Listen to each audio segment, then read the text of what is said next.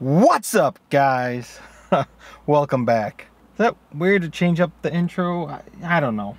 Whatever. Anyways, guys, today I wanted to talk to you about what I've learned by racing. Uh, the last few weeks, I think the last three weeks, I've actually been out at the race course doing some MultiGP racing, and I just wanted to have a conversation about, you know, what I've been learning, what that's been like, uh, what I've kind of been getting out of it the first two times I went out, I kind of did a vlog style, show what's racing, show how I did, but I didn't really want to do a third one of those. I just want to talk about the experience, talk about overall what I've been learning and what I'm doing going forward.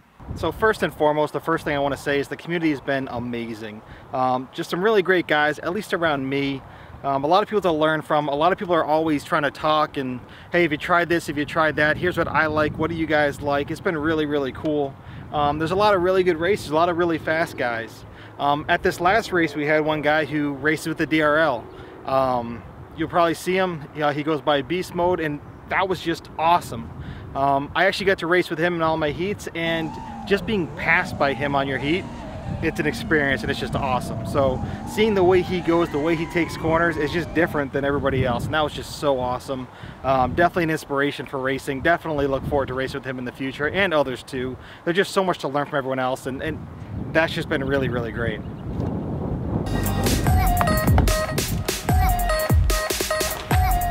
So another thing I've noticed is just how organized the race is really makes a big difference if the organizers are on top of letting people know when they're up, things just go a lot smoother. Um, this last race was really, really, really well organized. Um, we got through our laps really quick. We got through our heats really quick. And we did five heats in probably less than three hours with, I think, five different races. So 25 total races, all done in three hours. I thought that was really impressive and it made the whole experience a lot more enjoyable. Now, from an actual racing perspective, the thing that I think did catch me a little bit by surprise in my first race was that things don't translate as much as I would have expected from freestyle. Um, I think it's a lot to do with my style of freestyle. But,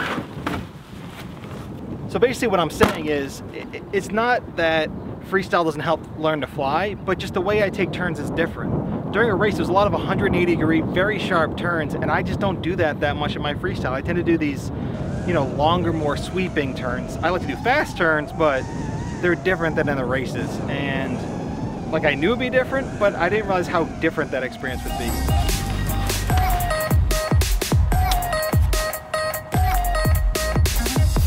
I guess I've noticed that my freestyle style of those long sweeping turns, it definitely allows for a lot of slop, I guess.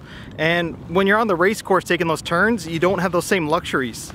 You know, the tight, the turns have to be tighter, um, the angles have to be tighter, you just have to be a lot more focused on where you're going. You have less time to line things up, um, and it's just a different level of skill that you have to do.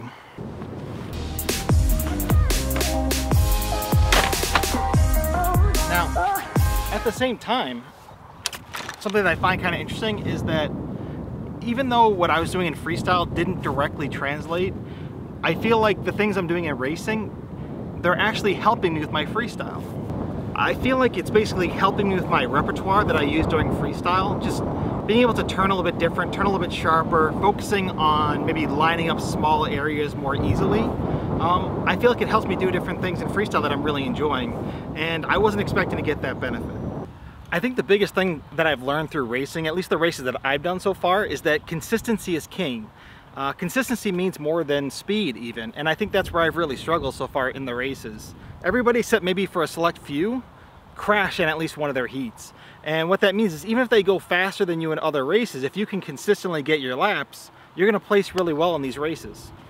So the racing that I've done so far has all been based on number of laps. And the thing that I find really interesting about that type of racing is that it doesn't matter so much a few seconds on a lap, right? So if you're going 20 seconds per lap or you're going 18 seconds per lap, that's a big difference in speed around the course. But over the course of five laps, that's only 10 seconds. And that may not be enough to get you one more lap. So in the end, it doesn't make that much of a difference. Um, you really have to go a lot faster before those things start making a difference. Now, I will say that that experience has made me really interested in trying something like uh, first to three laps, first to four laps. Um, fastest laps, fastest three laps, something along those lines, because I feel like the experience would be really interesting. It's a little bit different, right? In that case, a one second difference in a lap or a two second difference in a lap is gonna make a massive difference. And I just think that'd be a really cool experience. Obviously where I'm at so far, I don't know that it would really matter too much. Um, I still need to work on consistency first and then worry about the speed, but I still really like to try it.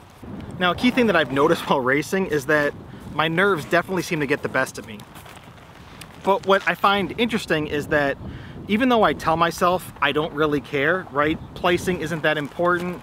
If I crash, it's no big deal. I have spare quads, I don't have to worry about the parts. Um, I still get really nervous. The thing I noticed is I get way more nervous when it counts, right? So in practice, I've actually had some really good laps. Um, I had some practice laps with one of the guys who basically comes in first almost every week, and I was able to stay right on him for practice. But when I get out there to actually compete for the heats, things get rough. I start to question my lines. I start to question my ability to hit certain gates. I do a lot more loop backs. Um, and that's definitely something I gotta work on. Now, my thought process here is that basically it's about practice. It's about number of repetitions, about just having that confidence in my flying. And I've noticed even in the last race, when it got to the last round, things got a lot better. My very last three laps were my best three laps of the day, and they were really consistent. I turned in at 17 seconds each, and I was really happy with that. If I could have been doing 17 second laps the whole day, you know, I'd be a second place finisher. And right, and I know that's not a realistic mark, but it tells me that my physical skills, they might be there. I just gotta work on being more consistent with those skills. Now, one of the other things that I noticed is that I'm not so sure that the rates that I use are really the best thing uh, for racing. So when I do freestyle, I like to do about 800 degrees per second.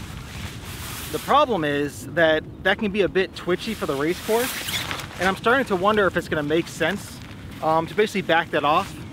So one thing that I've done and I plan on playing with is I set my rates to 450 degrees per second on a switch so that as I'm practicing, I can try racing at 800 like I usually do, but then also try racing at 450 and see if that makes a difference. So one thing I'm worried about is you know, getting used to 450 or 800, that muscle memory, if that'll work out. But my hope is that just by practice, I'll be, I can get used to both rates and potentially use one for freestyle and one for racing. So in the end, my current theory is that basically everything just comes down to practice. I need to get out there and practice more. And I still think that most of my flying is gonna be freestyle, but you know what? I gotta sometimes get out to the park, set up some gates, and try to hit them get that practice in racing during the week so then the weekend comes and I can race. I can do the best I can. So anyway, speaking of practice, you probably noticed these gates that I'm starting to put up here. I'll have another video coming out on those soon. Um, I decided to get some pop-up gates, try various different brands at different prices, see if they make a difference at all, see how we like them, and uh, let you guys know how they work for my practice. So anyway, I'm getting the practice in today. I'm starting the process. Let's get better at racing. Let's keep having fun. So another thing I'm gonna say from the last race is I love this quad. Um, this is one of my more recent builds. It's my Martian X frame with my Emax RS 2306 motors. This thing just, I feel like I have much better control with this than any of my other quads. The way it takes the turns, the torque it has coming out of the turns, I just love it. It gave me a lot more confidence. Um, took a little bit of getting used to it first just because it was different than the other quads I raced with before, but oh man, is it good. Anyways, speaking of practice, let's get this thing out there and let's rip.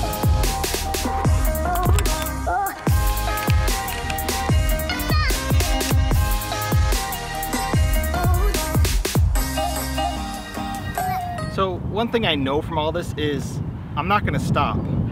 It's too much fun. Um, I'm gonna keep racing. I'm gonna keep getting better. I'm gonna keep practicing. I'm gonna keep going to the events and you know maybe by the end of the season I can do pretty well. Maybe I could qualify for a regional contest or something. That would be just amazing. Um, I still consider myself pretty new in the sport. You know, I think I started back in November, so what's that been? About eight months now, so less than a year. This is my first season of racing. I've done three racing events so far. If I can get far enough to like compete in some races, that would be just amazing. So let's get back to practicing. Let's have some fun. I plan on enjoying my newfound way of enjoying the sport. I love freestyle, I love racing. There's just so much you can do with these quads. Like I always say, I'm addicted. Let's go have some fun.